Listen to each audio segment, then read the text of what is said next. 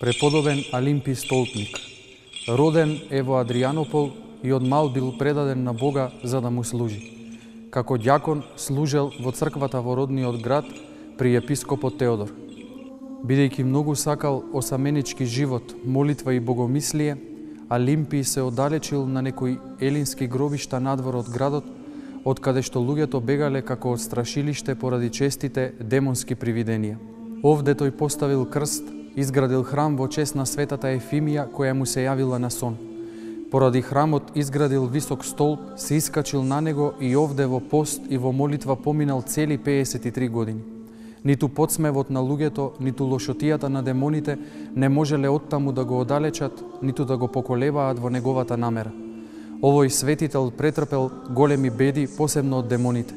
Не само што демоните со разни привиденија го плашеле, туку и со камења го удирале и не му давале мир ни дење ни ноќе.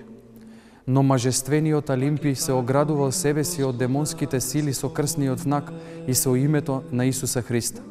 Најпосле победените демони го оставили и побегнале, а луѓето почнале да го почитуваат и да доаѓаат кај него заради молитви, утеха, поука и исцеление. Околу неговиот столб биле подигнати два манастири, од едната страна машки, а од другата женски. Во женскиот манастир живееле и неговата мајка и сестра му.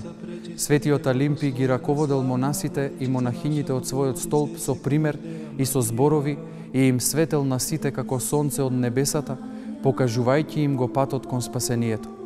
Овој Божи угодник имал толкава благодат што честопати го осветлувала некаква светлина и над него се воздигал столб од таа светлина до небесата.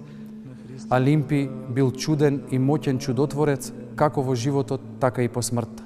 Поживеел 100 години и се упокоил во 640 година во времето на царот Иракли. Од неговите свети мошти е сочувана главата во манастирот Кутлумуш на Света Гора. Овие светители спаѓаат во редот на неподвижни празници и нивниот спомен се празнува секогаш на истиот датум.